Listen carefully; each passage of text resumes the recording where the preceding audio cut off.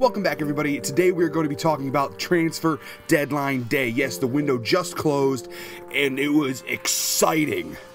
Not. Wow, there was like nothing happening all day. I mean, really, the, the, the big news of the day was Cuadrado signed for Chelsea, and if this were FIFA 15, they just strengthened their squad immensely.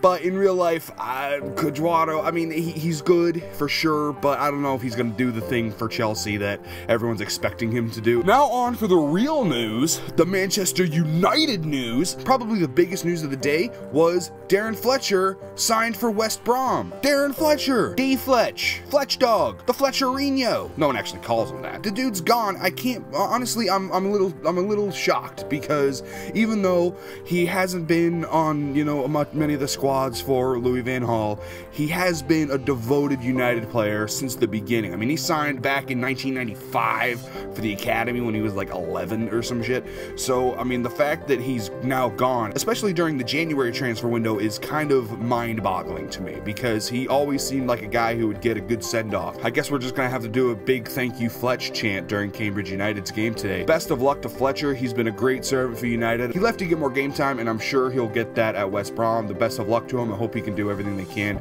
for them and they understand how to use him because he is one of the better midfielders that we've had over the past few seasons. The whole illness thing aside. Best of luck, Fletch. Thanks for everything. Wilfried Zaha left on a permanent deal. This is a dude who signed for Manchester United but played for Crystal Palace pretty much the entire time he signed for Manchester United. It was like Sir Alex's last signing. Signed him in January, but immediately loaned him back out. Crystal Palace had him for the rest of that season. And then the next January with Moyes, he loaned him out back to Crystal Palace for the rest of the season. And then this season with Louis Van Gaal, he loaned him out immediately. And now in January, he's going back to Crystal Palace permanently. I guess this guy just isn't that good. He's not Manchester United quality or he has problems or something because, I mean, it seemed like a big waste of money and a big waste of time to keep to buy him just to keep loaning him out and then eventually just sell him back.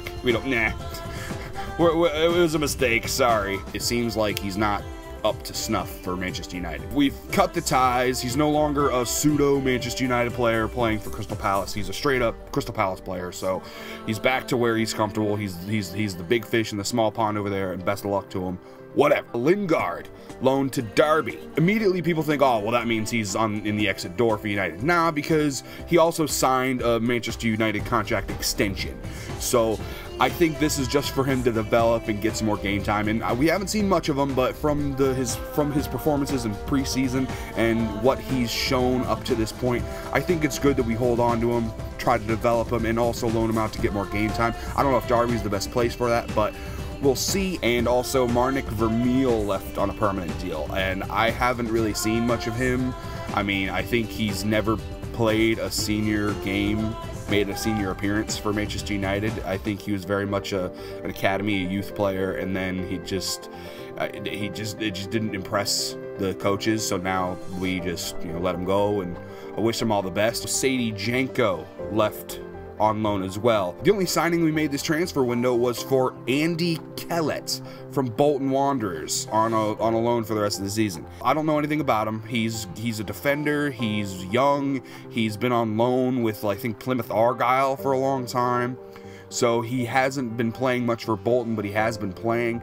So honestly, this is the most confusing, confusing, confusing transfer that we've done because I mean we have Luke Shaw. We just spent like 30 million plus for him. Well, I guess that's pretty much it as far as left backs. Maybe he's just backup, but it's kind of like if you loan someone, you're you're going to be playing them often, and it just feels like we're not going to be playing this guy very much. Who knows? He might be the next you know superstar, you know left back in the world.